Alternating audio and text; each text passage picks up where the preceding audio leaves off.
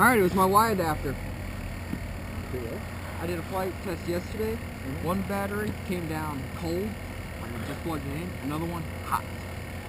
Not like burning my hand, but still a lot, a lot warmer than normal. The cold one was 4.0 across the board.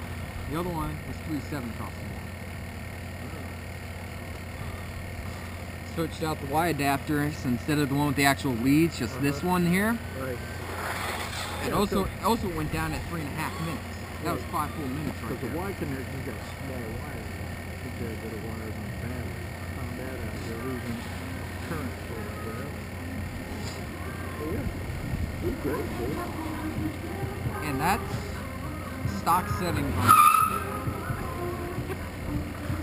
stock settings on the board. I didn't touch any of the stability settings at all. Just loaded it up and flew it. Feel real good about that now. Oh jeez, it's still recording.